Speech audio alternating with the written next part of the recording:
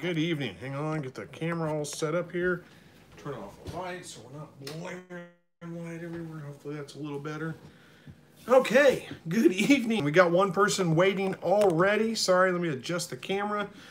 Thought I was prepared tonight. Apparently, I'm not quite that prepared. So, anyway, let's get started with this. Before we get going here, let me just say that uh, this is a weekly live broadcast, generally every Thursday evening about 7 o'clock Central. I'm here, uh, usually about an hour, 7 to 8 Central Time.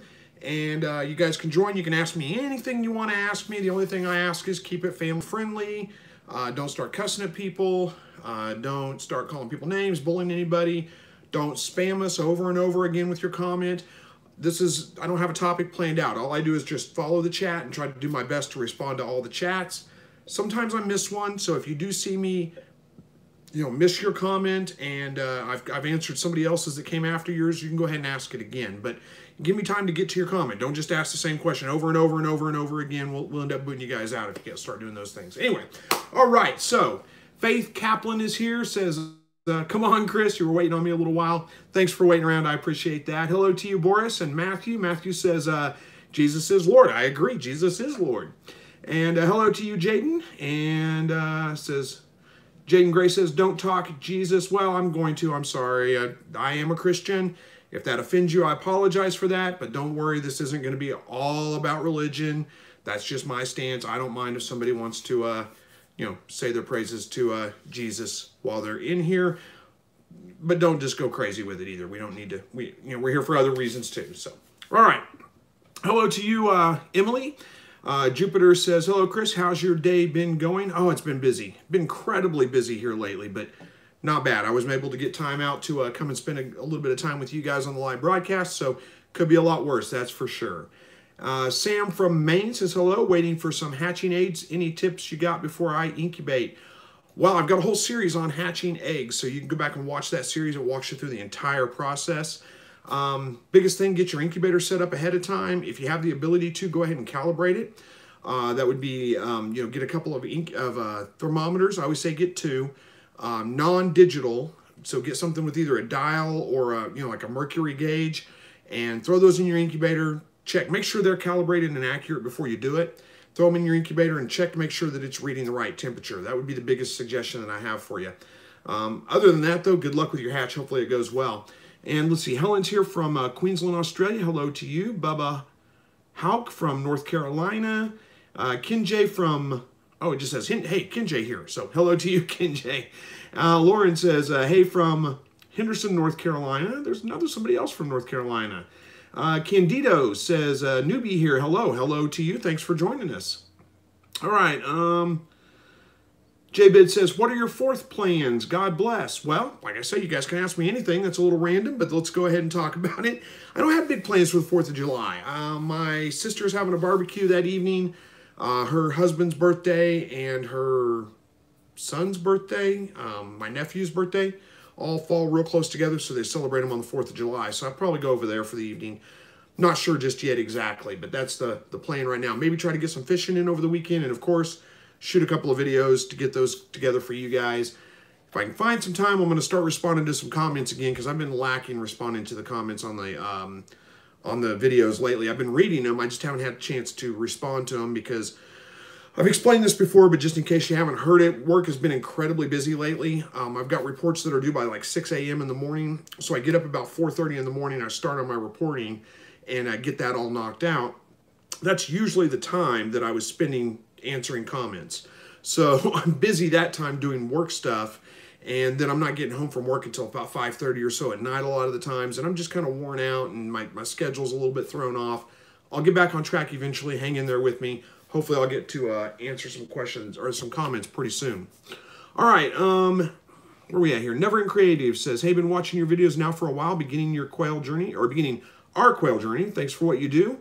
Just got our first eggs yesterday, so tiny compared to our duck eggs. Yep, the quail eggs are tiny for sure, especially compared to uh, duck eggs. So hello to you, Spencer, and uh, let's see, who's this? Uh, Rita says, amen, Chris, probably to my comment about praising God. So thank you for that. Well, amen. Agreed. and uh, let's see. Zachab, I think it is, says, Hey, Chris, sorry I don't make it to all the live streams, but thanks for all the videos on the quail. Helps me out a lot. Couldn't do without you. Well, thank you so much. And don't worry, if you can't make them to all, it's fine. I don't expect you guys to make them to all. I don't expect you to drop what you're doing just to come to a live stream broadcast. I do this to have a chance to interact with you guys, and uh, I'm just glad when you can make it. All right.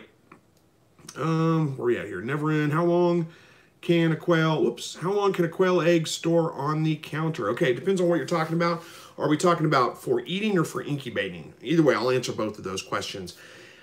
Uh, again, it depends on several factors either way. Um, one is probably humidity is one of the big ones and temperature is the other one. So if your temperature is too high and you're talking about fertile eggs, um, they're going to start to develop. And that's if the temperature is over about 75 to 80 degrees, they're going to start to develop and you know, it's not going to be good to save them for either one, eating or incubating um, at that at that rate. Um, the humidity is the other thing. If you live in a very dry climate, they'll start to lose a lot of the moisture inside the egg pretty quickly. You might get a couple of days, maybe a week out of them before they start going bad. Um, they wouldn't necessarily rot at that point, but they would, you know, not be as fresh. They're going to lose a lot of moisture, and they're not going to be good for saving for incubating or eating either way that way. Now, assuming you've got the right um, temperature, you know, below about 70 degrees. Excuse me. I'm going to grab a drink here. I'm kind of dry today.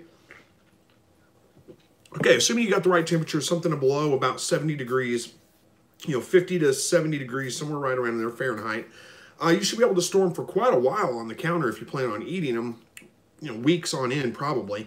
Um, if you plan on incubating, them, really only about seven to 10 days at the most before you want to get them in the incubator and start the incubation process.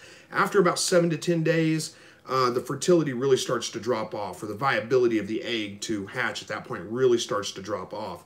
So you're really better off if you want to store them for eating, put, probably put them in your refrigerator, especially if they're fertile eggs, just to keep them from developing if you want to store them for incubating, um, you know, I always use just a cooler. Um, I've got a small cooler. I put them in an egg carton with one of those freezer packs. Uh, not don't put that in the egg carton. Put that in the cooler. One of those packs you stick in the freezer and freeze, and then you put in your cooler to keep things cold. Just one of those, um, so it doesn't get too cold in there, but it stays cool. And I just switch that out every day. And uh, you can keep them for, like I said, about seven days in there before you have to incubate them. Hopefully that answers your question. All right, Jupiter says, uh, is your is your work always this busy this time of year, or is it related to the pandemic? It's probably a little bit of both. It's not always this busy this time of year. It fluctuates depending on what's going on. Um, you know, sometimes my role at work changes a little bit, so that makes difference too. But no, a lot of this is related to the pandemic. I work for a call center. I'm an account manager for a call center, and uh, we've taken on a lot of inbound work.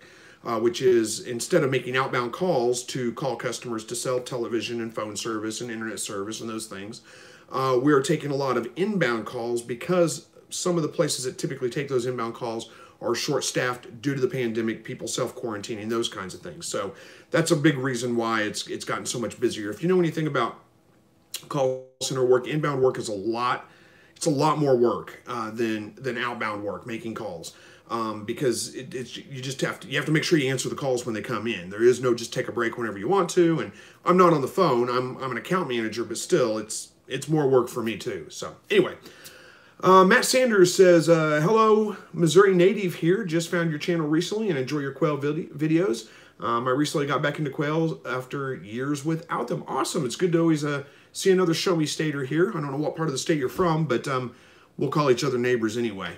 Uh, Spike says, um, have you ever had a power outage when the incubator was in service and still had some hatch or just throughout the whole batch? I have had a power outage. It didn't last for more than a couple of hours um, maybe three or four hours, and I still got a decent hatch out of that. So don't stress about that. If you have a power outage, um, if you know it's going to be an extended power outage, um, a couple things you can do there. Uh, one, I, I, have a battery backup. Um, it's just a, a, deep cycle battery that I keep powered up and an inverter uh, that I can hook up to it and um, plug in and run my incubator for several hours, probably five or six hours at least. Um, so that's pretty. That's something pretty easy. Oh, looks like Matt's up by Columbia, so a little ways from me, but still not not too terribly far. Um,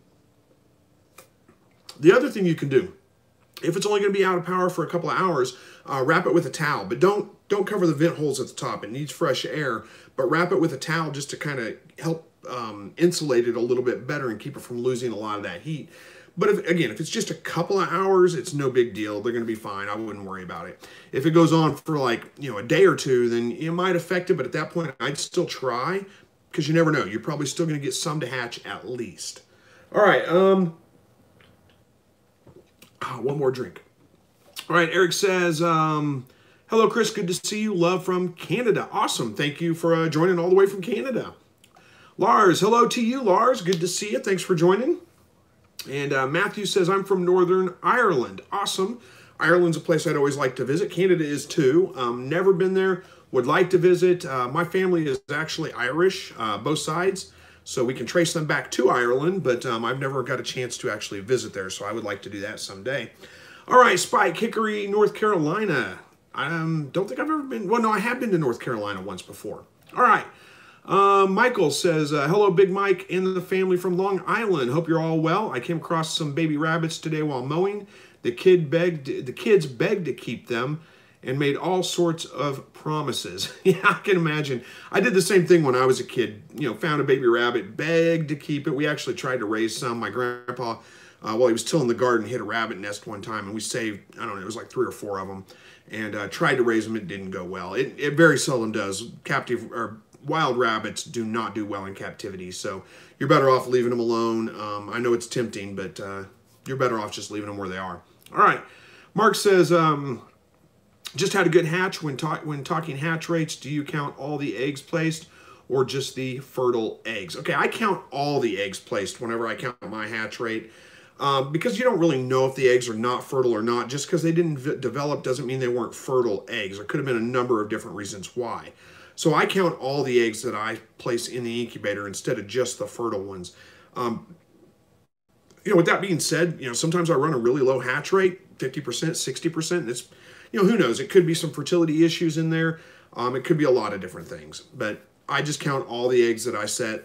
Those are the ones I use to, to consider my hatch rate. All right. Kinjay says, uh, hey, Kinjay from Jamaica. Awesome. Jamaica's a place I think would be kind of cool to visit too. All right. Uh, Spike says, thanks to William Safford. I'm not sure what that means. All right. Uh, Cajun King says, hey, man, glad to hear from you. Uh, you have helped me so much with my rabbit raising adventures. Thanks so much. Awesome. Well, thank you for the kind comments.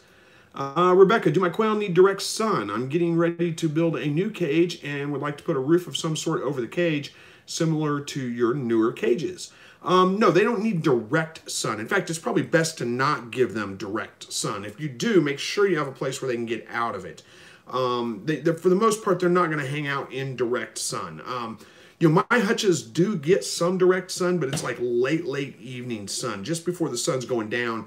You know, it hits them directly. So, and it's just, I mean, it's an angle at that point. It's not the high sun, high hot sun. It's bet. I mean, it, you're probably best to get it in as much shade as you can, especially in the summertime. The wintertime, of course, is not as big of a concern depending on where you live. Around here, it gets pretty cold in the winter, so a little bit of sunshine's you know going to be a good thing. But still, you don't want them in direct sun where they have no way to get out of it. You need to give them some kind of shade. And I think in the summertime, it's best to keep them in a shaded area where it's shaded all the time. Um, Rita says, Hi, Chris. Have you ever used equine bedding pellets for bedding for chicks? No, I have not. I've heard of other people using them. I don't see why they wouldn't work. I think it's probably a great option, but no, I haven't personally used them. All right, Michael says, I raise quail in a small yard. If I threw a baseball off my back steps, it would pass through four other yards. I'm not super handy, and if I can do it, you can too. awesome. I think you're talking to uh, Rebecca about getting her quail hutches built and whether they need direct sun or not. But yeah, you can build it. You can raise them in an incredibly small place, and, and really a, a quail hutch isn't that difficult to build. Um, I, you know, I would not call myself a master woodworker. I mean, I built my quail hutches. I built my rabbit shed. Um, I built a chicken tractor. Um, I can put together some things, but you're going to make mistakes when you first do it. Don't worry about it. It happens. That's how you learn. You learn from your mistakes. All right. Um, Jupiter says, don't forget to give Chris a thumbs up, everybody. Well, thank you, Jupiter. I appreciate that. Face says, some people say you have to use antibiotics for quail because if a sparrow comes near my cages, it can spread some microbes, might kill all the quails. Is that right? Do you use antibiotics? No, I don't use any antibiotics. I never have. I've never had a big problem with that. I suppose if a sparrow comes by, or any other bird for that matter, it could, you know, spread some kind of disease to the birds, and it could happen. Um, but I'm not one that really thinks of, um, I mean, I don't worry about could happens, you know? It's really not that high of a risk. In fact, I don't think, now, I, I can't think of a time when I've ever seen wild birds at my quail hutches. You know, a hawk one time, but he was there to try to eat them. But that was it. He was only there for a couple of days and then he gave up and he moved on. But other than that, I don't think the birds have paid any attention to them. I never see them around the quail hutches. Uh, never have really. So I don't think it's a big concern. And even if it did, um, I mean, just the fact that they're around doesn't mean they're going to spread disease. Um, you know, it's a chance, I guess, but it's not. I don't think it's a big risk. I wouldn't worry about it. I wouldn't do any kind of preventative antibiotics with them. If you start having problems, that may be something you have to address. But until then, I wouldn't worry about it. All right. Um, Lisa says, is reptile sand called calcium substrate uh, good for quail? I don't see why it wouldn't be. Let's see, reptile sand, calcium substrate. I don't know. I'm trying to think of what reptile sand is. Um, you know, I don't know that reptile sand is any different much than other um, other sands. It, you know, calcium. Anyway, it should be fine for them. I don't know exactly what's in it. Check the ingredient list. It's obviously calcium based, but that could be um, there could be a number of different things with that. Um, I don't know that it's worth the price. I mean, I just get play sand or construction sand from the local like Home Depot, Lowe's. Um, it's pretty cheap. I get it from there and I just dump it right in the sandboxes. It works fine. There's no reason to go with anything kind of too crazy. All right. Um, Emilio says, um, I wish I would be confident enough to do a YouTube channel, but I fear I won't have enough content. It's crazy how you can do it for years and still have a lot to talk about. You know what? That's the hardest part, honestly, is coming up with new content all the time, um, especially after doing it for years, because for years it was just, I was doing instructional videos, mostly just topics about rabbits and quail, which I still do, but I pretty much covered everything. So what else do I talk about? Um, so I am trying to expand the channel a little bit, make it a little bit more entertaining for everybody. Try to give you guys a glimpse of my life. My my wife doesn't really like to be on camera. She doesn't want to be on it. She's been on a few videos, but it's been a while, um, so I don't really push her to do that too much. So it's just me that gets to be on camera for the most part. You get to see her uh, camera work. She gets to be my cameraman sometimes. Uh, but uh, she doesn't want to actually be on camera most of the time. So it's just me. It is tricky to kind of come up with new content all the time and things to talk about. Um, but I do my best to try to do that for you guys every every once in a while. And if I see uh, comments that come up quite frequently, I know, hey, that's probably a topic I need to address, so I get it addressed or I try to. Um, so who's that? Is that Lars with, yep, Lars with a 200 Danish crown, I think they are, super chat. Thank you so much, Lars. It's very kind of you. Comes in here all the time and always throws that money at me. I'm very, very nice. I appreciate it. Thank you.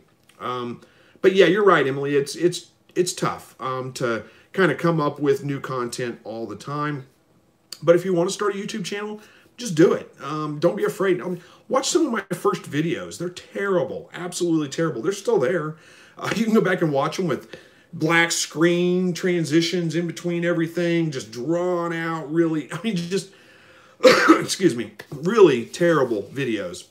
But unless you ever, unless you start, I mean, if this is, if that's what you want to do, you're never going to be ready to do it. You just kind of have to do it and learn from your mistakes and figure out what's working and what's not working and uh, just do it. That's all you can do. That's all I can tell you. Um, Michael says, um, I'm thinking about getting rid of the roosters since I would only hatch out eggs once a year or so to replenish my layers. I'm in a small yard.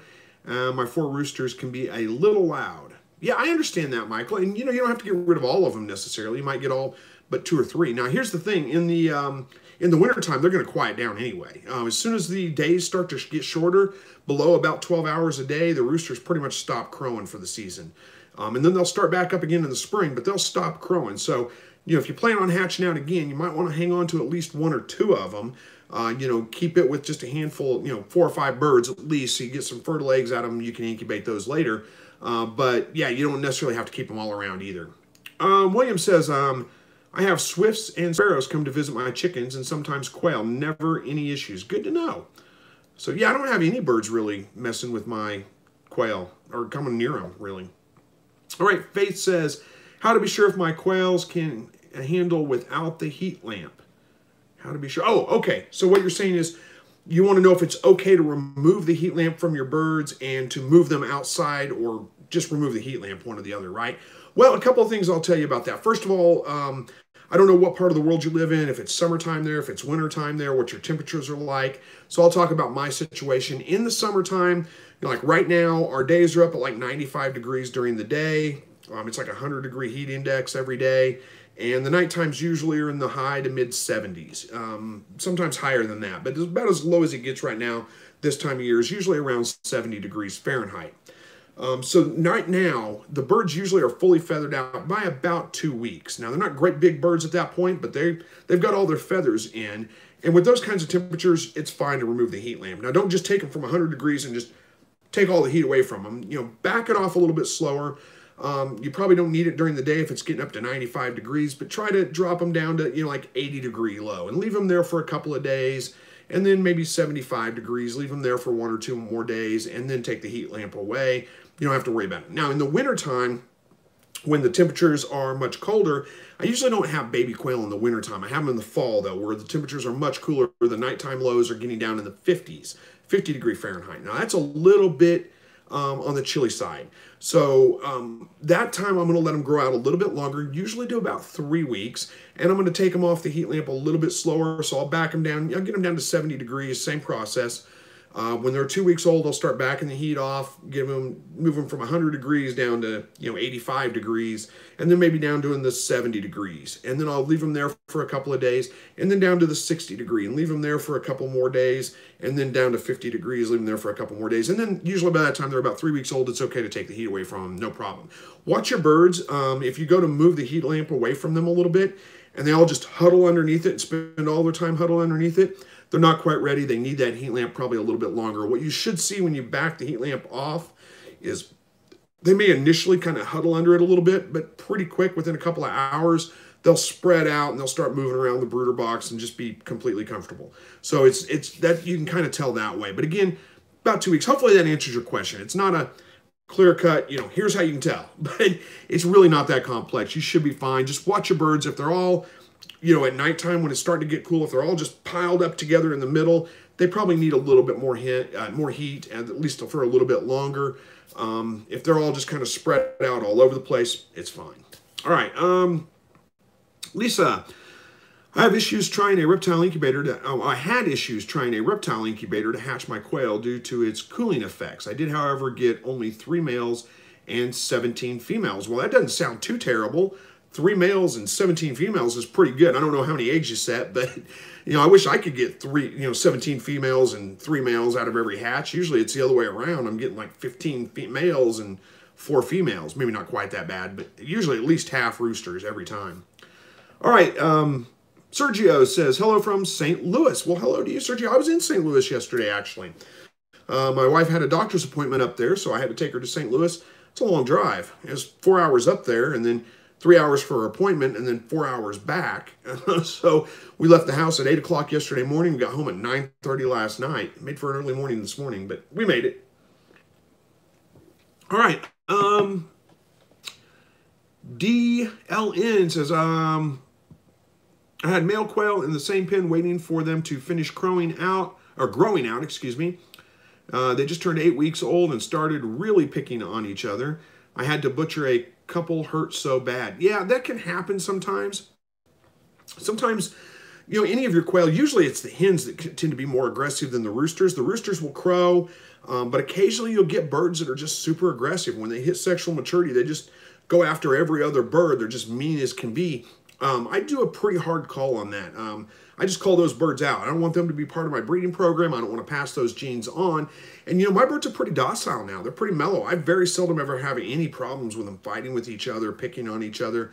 Sometimes the males are a little bit over anxious to breed, and um, you know they will, you know, you'll, you'll end up with bald females, a strip of you know feathers missing from the back of their head. But that's not aggression. That's different. So um, yeah, I don't blame. I, I understand that. I know, and you're. You, I think you probably did the right thing. Just call them out. Um, uh, what does this say? Thomas David says, What are some ways of keeping your quail cool in these 90 degree temps? You know, I don't bother with it too much. Uh, I don't do anything special.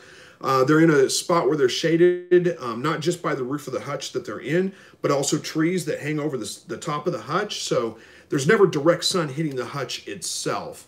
Um, that helps a lot. Um, it's also ventilated very, very well, so there's good airflow through there. That helps a lot. Fresh water, make sure they always have access to fresh water. Other than that, I don't do anything special. They do just fine. Um, you know, you could try to add some uh, some uh, fans. Um, I wouldn't put it blowing directly on the birds, but blowing over, you know, through the cages maybe to get some air circulation going in there, get some air moving around. If you live in a dry climate, you can use misters.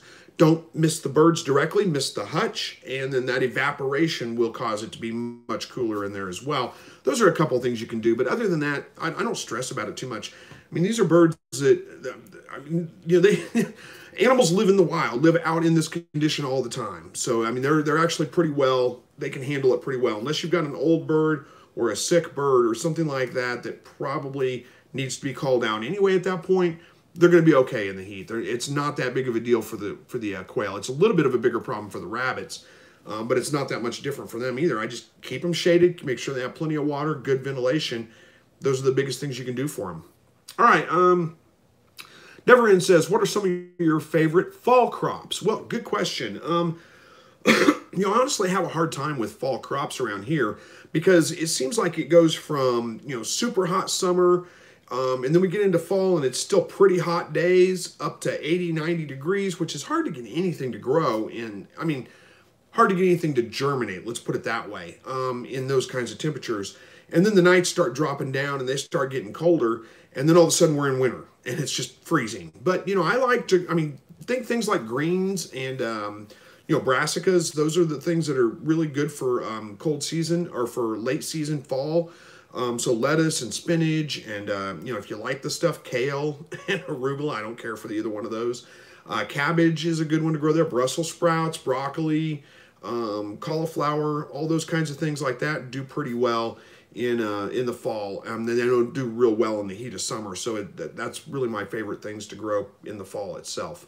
Um, all right, um, where are we at here? Hyatt or Wyatt, sorry, says uh, my quail started laying seven days ago, and I'm wondering if I can start incubating the eggs or is it too early? Well, check a couple of them and see if they're fertile. And I'm just you know crack them open, dump them in a bowl, look at the yolk. It should have a little white dot on it. That just means it's a mature egg. Look for a bullseye ring around that white dot. And if you can see a faint kind of dark ring around that, they're fertile eggs. So just check your fertility. Um, you know, to answer your question, seven days is probably not necessarily too early, but you might wait another week. I always give them about two weeks from the time they first start laying before I expect the eggs to be really fertile and have good fertility in the eggs. All right. Uh, Chinky, Chinkies, I'm just going to call you Chinky because I can't pronounce it all.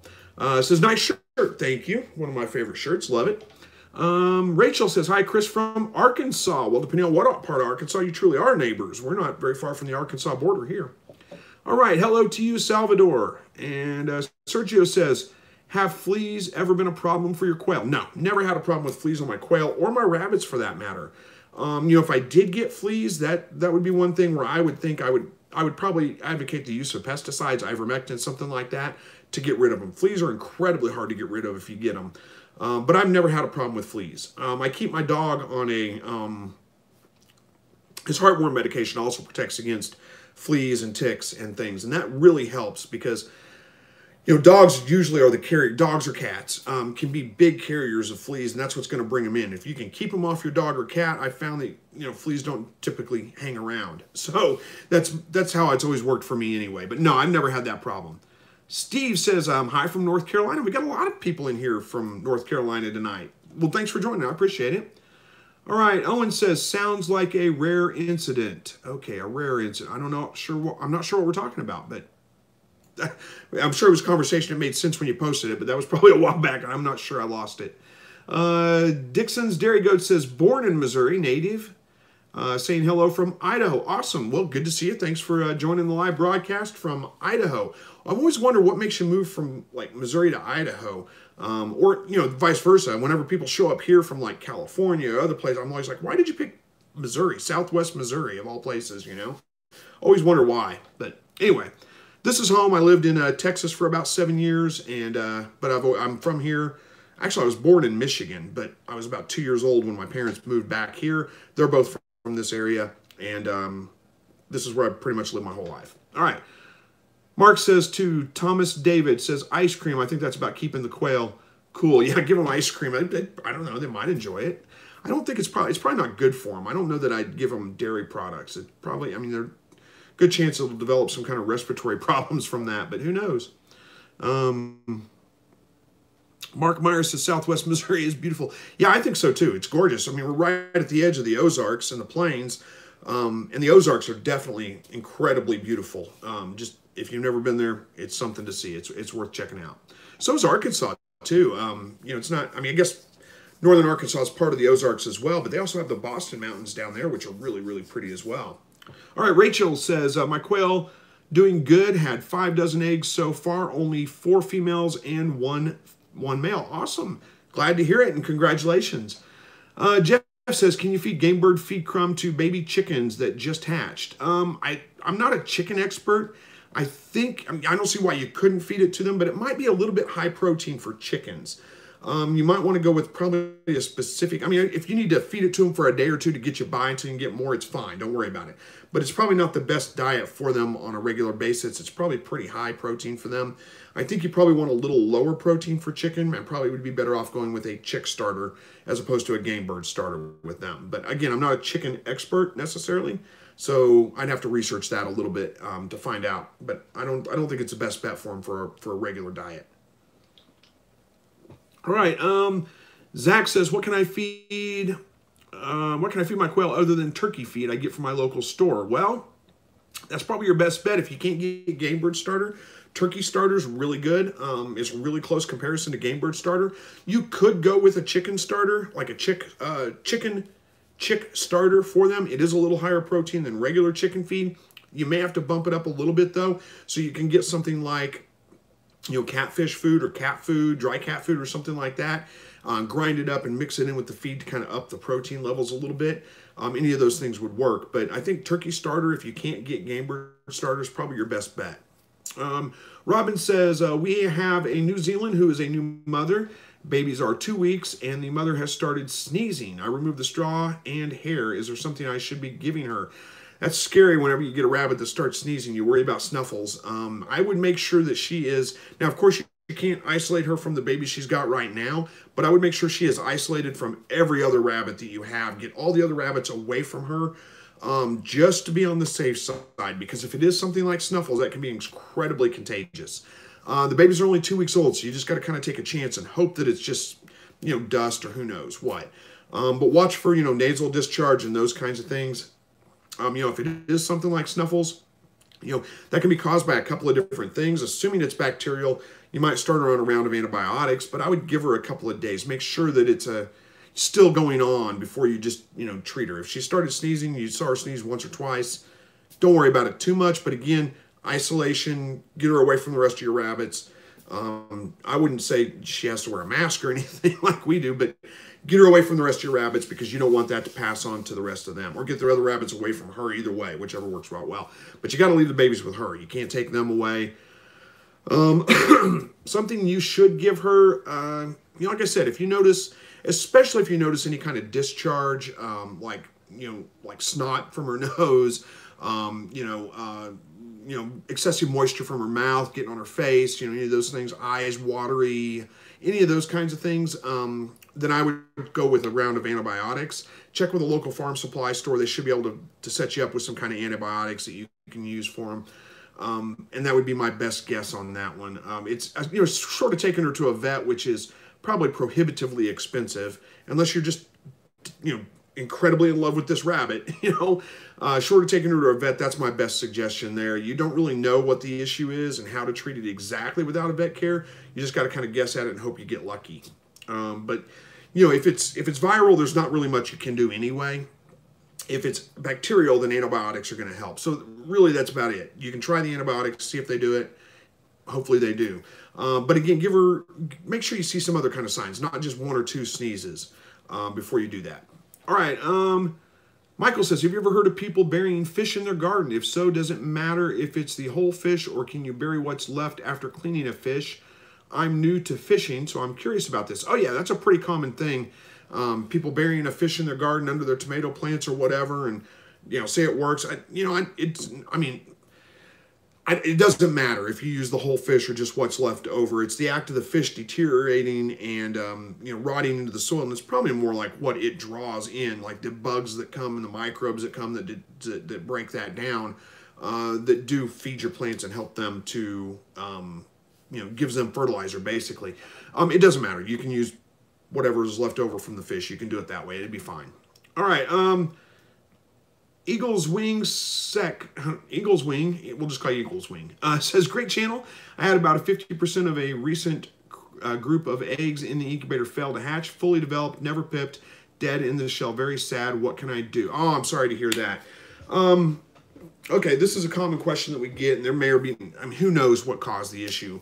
First things I always say is check to see if your temperature is correct. Make sure your incubator is reading temperature correctly. It's probably the biggest issue with uh, failed hatches is the incubators, you know, it says it's incubating 100, but it's actually only 98, or it's actually 102, you know, something like that. So um, get a couple of non-digital cal, uh, cal um, non-digital thermometers. There we go. That's the word I was looking for. Calibrate them. Make sure they're accurate before you do this. Put them in your incubator. Run your incubator for a little while um, and just check to see is it you know it says 100 on the thermometer on the incubator. What does it say on the thermometers? I always say get two so you're you're sure that it's not you know if you've only got one you're like well which one's right the thermostat or the thermometer? If you've got two and any three of those things are reading the same either the thermometers or the incubator then you can pretty much bet that that's the right temperature. And uh, just verify that it's reading the right temperature. That's the first place to start. Second um, you know did you have too much humidity in your incubator you know, a lot of times we focus so much on having not enough humidity, but really too much can be just as bad. So if you had somewhere like an 85, 90% humidity rate or, or higher, and, and not just based on what the dial says on the on the humidity gauge on the incubator, but you know, like where your windows overly fogged up and water dripping from them, that's too high in the humidity. Um, you know, light mist on your windows or light fog on your windows is okay, but if there's water con condensing on the window on the screen or the plastic windows, and dripping off of it, that's pretty high humidity. They may have drowned in the eggshell. Um, conversely, low, low, low humidity, especially when they start pipping, if you open the um, incubator up and that rush of dry air comes in, it can shrink wrap them inside their eggshell. So, I mean, there's a couple things, or it could be bacterial. Could have had some kind of bacterial problem that ended up killing them out. But my best bet is start with the thermometer and the and the uh, temperature. That's the easiest thing to verify. Start there and then work your way backwards on it. That's probably my best advice on that one.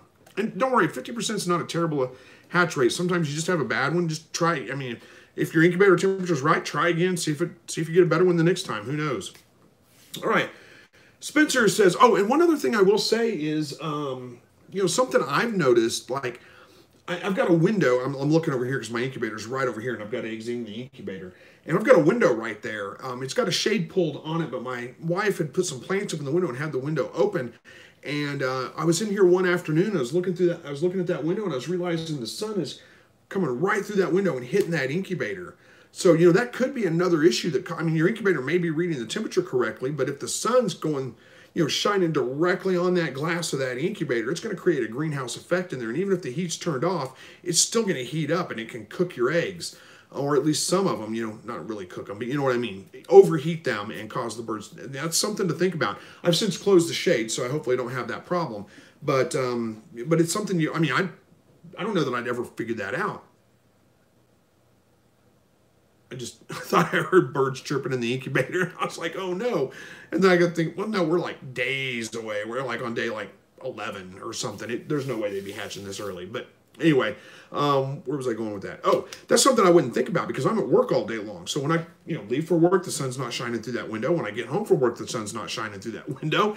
You know, it's just a short window there in the afternoon, but that can that could be a problem. All right, um, Fred says, do you ever do fishing videos? I know you said that you would like to get some fishing in this weekend. Yeah, I would like to. I haven't, I have done some fishing videos before. I've done a couple of them. Um, fishing videos are hard to do um, because it's, you know, I'll tell you why. Hang on. Fishing videos are hard to do because the fish don't bite when you have the camera on. That's my experience anyway. So it's really hard to get fish to, you know, actually catch a fish when you're on camera. So most of it is just you with the camera and you're just floating around. I, I fish out of a kayak. Um, most of the time, you're just floating around casting and not catching anything. because you can't just run the camera nonstop. It's got you know a finite amount of battery life. So uh, you know every time I turn the camera on, the fish stop biting. That's just my luck.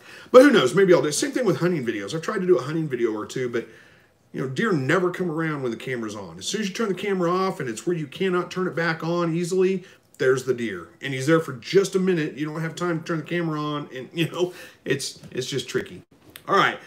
Uh, michael says thanks for all the advice about the crowing. I didn't realize they would get quieter in the winter. You haven't really oh uh, you have really helped us be self-sufficient. I know it's easy since you were, I know it's not easy since you work full time. Thank you. Well, thank you for the kind comments. And yeah, you know, once the daylight starts dropping, now your, your hens are going to stop laying eggs at that time too. But yeah, once the daylight starts dropping down below about 12 hours a day, they pretty much shut down. I mean, the, the crowing and the egg laying is part of their breeding behavior. And, you know, the breeding season for them is, you know, once the days get over 12 hours a day to 14 hours a day of sunlight on a regular basis, that's when they breed. So that's when the roosters crow and the, and the hens lay eggs. So, you know, you take that light away, they'll shut down, they'll stop all that.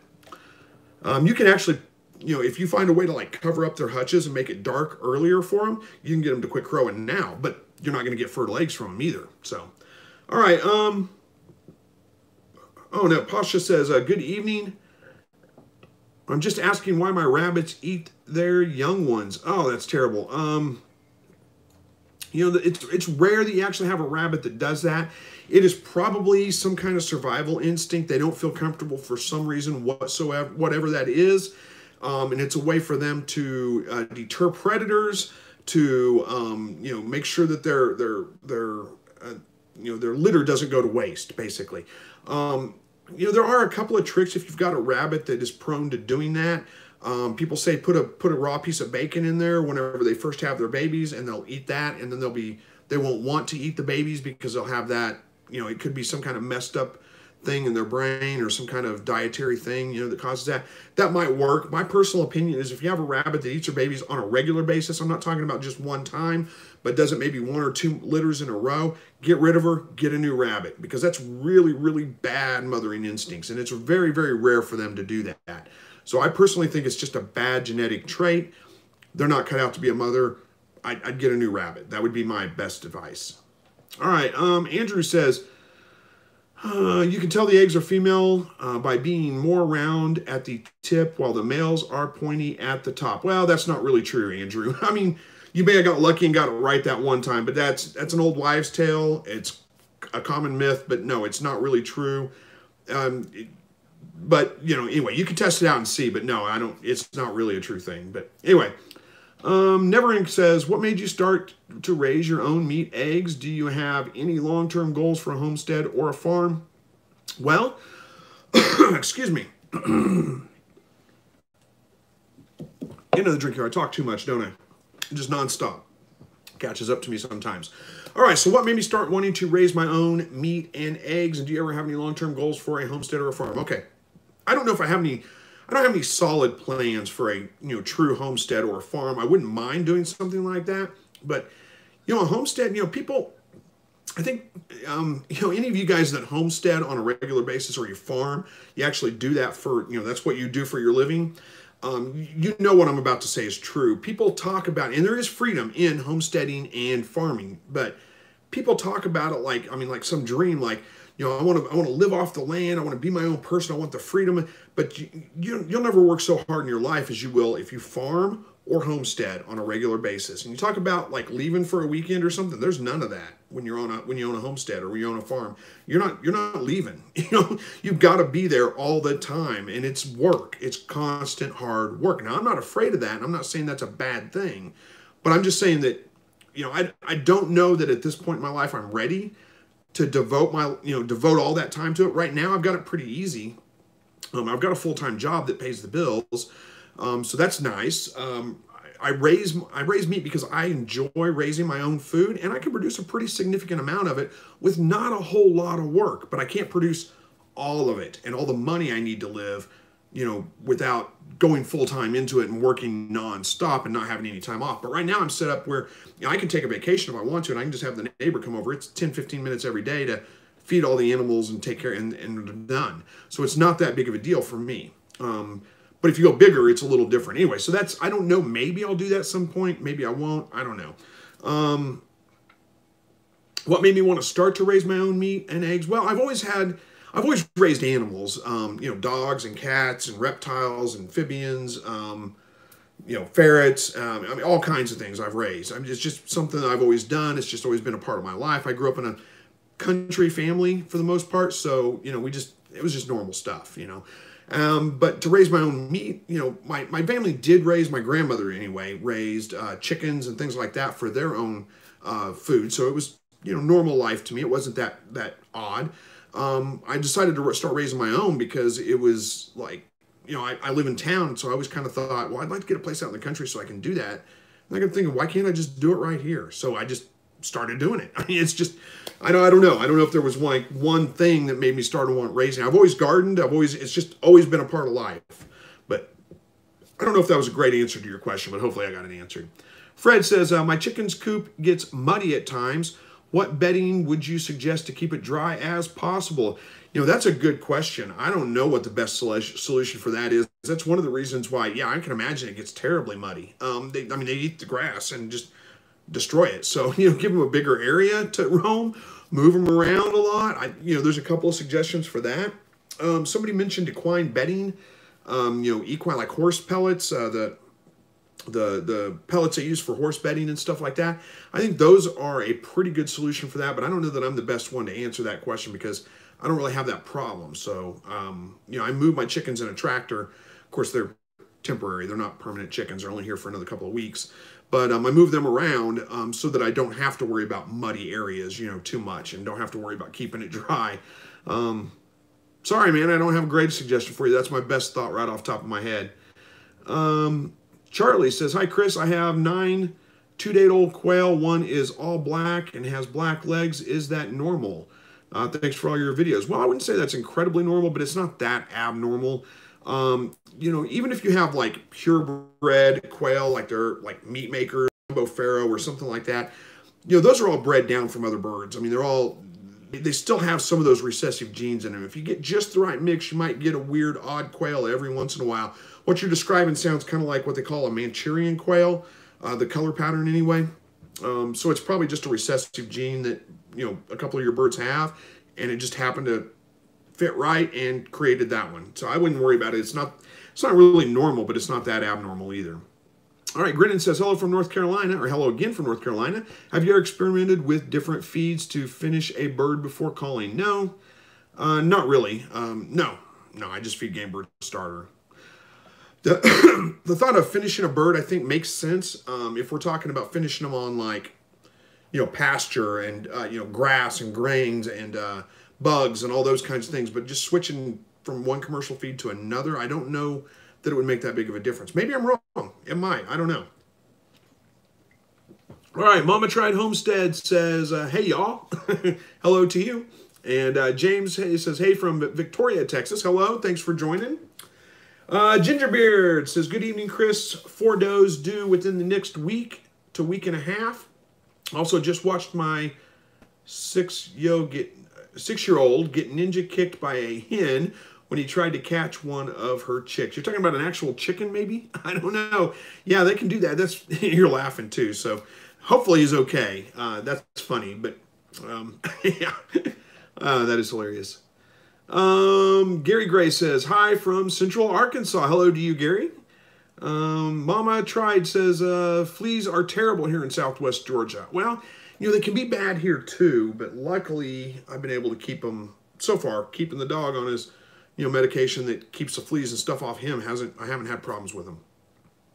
All right, Rebecca says, my daughter has a broody bantam and is trying to hatch quail eggs with her. Is there any chance of success? Yeah, there is. Absolutely. The people that do that um, quite frequently. I'm, what kind of hatch rates you're going to get, hard to say, but try it and see if it works. Um, but yeah, there's plenty of people that have done that before with a banty, uh, with a broody bantam hen. All right. Um, Jim Bowie says, My bobwhite quail laid 18 eggs so far and appear to be sitting on them. I'm too busy to hatch, so I'm going to let them hatch them. Hopefully it works. Good luck with that. I hope it does too. Um, bobwhite are probably a little bit more likely to hatch their own eggs than Coturnix are, but um, you know, I hope you get a good hatch rate out of it. Oh, who was that I missed? I scrolled too much. MZ says hi from uh, Birmingham, UK. Awesome, thank you. All right, Mark says, oh, we already talked about that one. Uh, Verna says, hi, Chris. Um, am late, but I made Well, thanks for making it, Verna. It's okay. We're not keeping track of your time. We we won't mark you tardy. Uh, Fred says, um, I'm from Warm Springs, Georgia. Fleas are terrible here. Well, I can I can imagine they are. They're they're bad here too. If you don't, like I said, if it, when I was a kid, we didn't have um, you know a lot of the flea treatments that are available now. A lot of the things preventative stuff for fleas and um, for dogs. And yeah, I've, we've had a couple of times where our dogs got fleas, and my gosh, it's bad. When you when your dog gets fleas, it's incredibly hard to get rid of them. Uh, they are bad, really bad. I I understand. Uh, Mama tried says my quails have been enjoying a lot of melons and pumpkins. The pickles, the pickles worms bored into the pickles worms. Pickles worms, huh? I'm not sure what pickles worms are, but okay. Um, yeah. Anyway, so you got uh, damaged fruit or damaged vegetables. I guess they're fruits, aren't they? Melons and pumpkins, and uh, you're feeding those to your quail. I think that's a great option for them. So we, we've got you know the meat chickens right now, so they're getting a lot of those scraps and stuff. They really enjoy them. Um, Gingerbeard said, "Hey Chris, I have Kalmbach 15% maintenance feed. Is that okay?" With growouts and breeders, I also give oats as well. Should I switch or is it okay? 15% feed, in my opinion, is a little bit low on the percent of uh, protein. It's not necessarily bad for them. They're going to do just fine on it, probably, but I like to have closer to 25%. So I would do something to boost the protein level of the feed or get a higher protein feed if you can. A high protein game bird starter or turkey starter, 25% or more. I feel that they do better on a higher protein feed, but again, they're going to be okay on 15%. They're not going to die. They just may be slightly better on a higher protein feed, but you know, use what you can get. Um, Ray says, What treats can I feed my baby quail one week old? Well, I don't know that there's a whole lot of treats you want to feed your baby quail. Um, you can try feeding them some, you know, pieces of vegetables or stuff, you know, cucumber or something like that. Uh, don't give them iceberg lettuce. Stay away from that. Um, the, thing about baby quail is you probably don't want to start them on like mealworms because mealworms look a whole lot like quail toes, baby quail toes specifically. And, you know, it doesn't take much. The, the babies haven't figured this out yet. In fact, if you watch baby quail in a brooder, they will often go after the other one's feet because they think it's a worm. So you don't necessarily want to encourage that behavior until they get a little bit older and figure that out. Um, I guess you, I don't know, there may be some other small bugs that you could feed them, but it's probably not a good idea because they really need grit if they're going to be eating live insects and things like that. So I would just keep them on the on the game bird starter for a while until they, you know, get a little bit bigger and get to the grow out pens. All right. Rachel says uh, Hatfield, Arkansas. I guess that's where you're from. I'm not sure where Hatfield is, but uh, it's Arkansas, so welcome.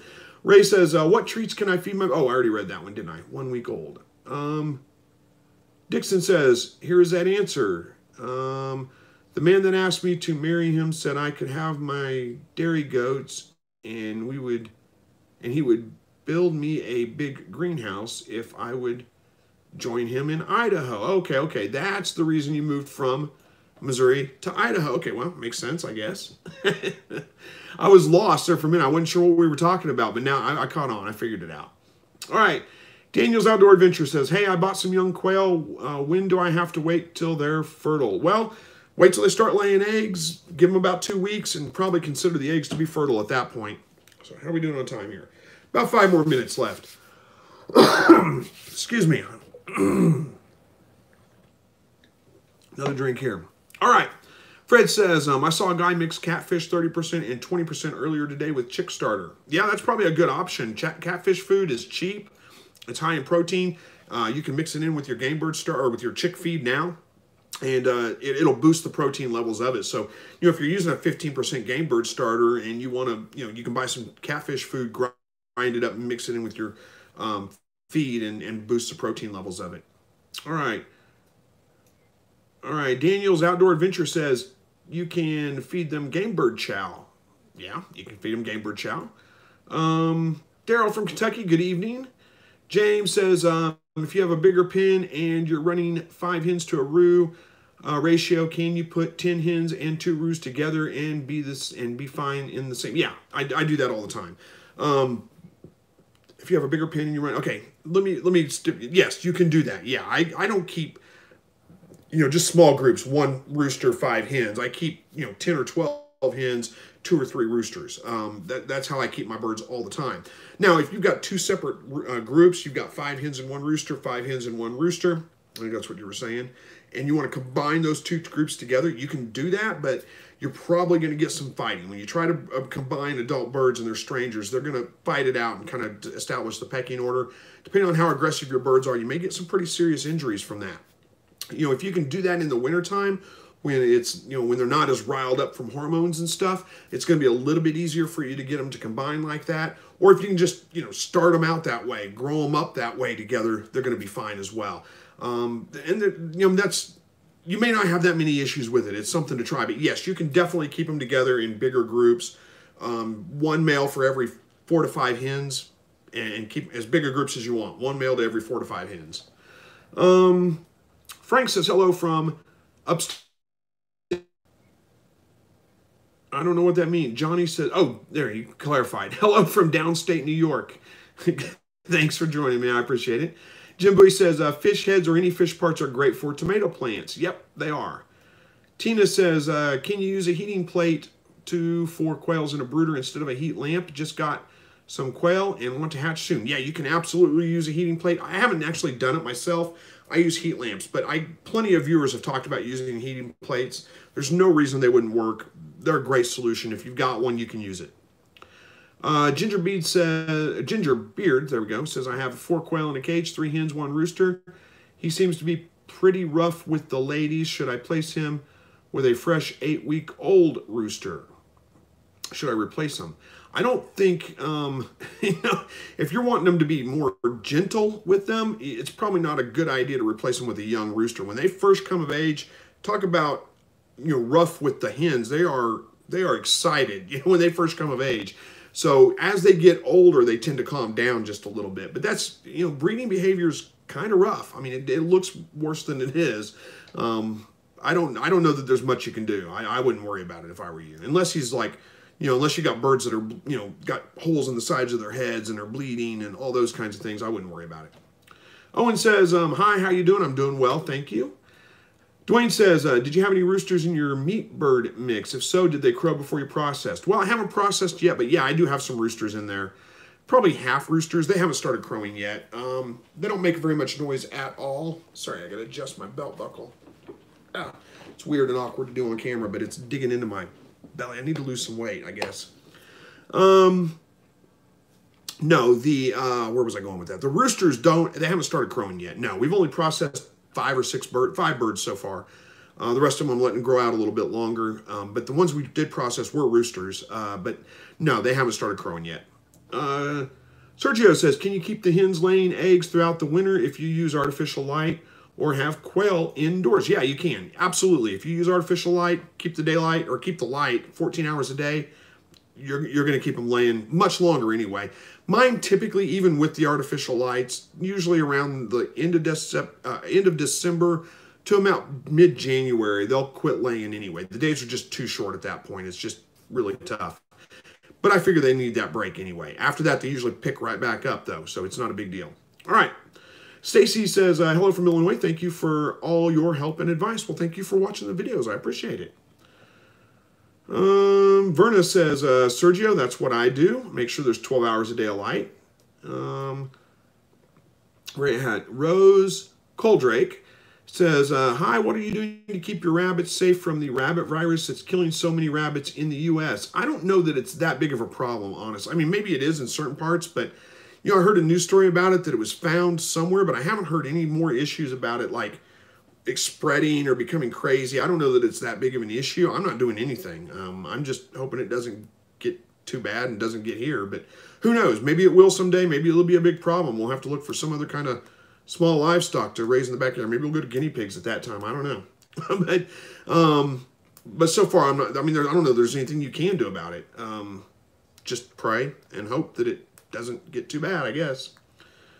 Braille Fishing says, uh, my quail, my quail laid their first eggs yesterday. How long does it take till their eggs start getting fertilized? Common question tonight. Um, usually about two weeks is what I, I assume. Um, you can just check the fertility in them though and make sure.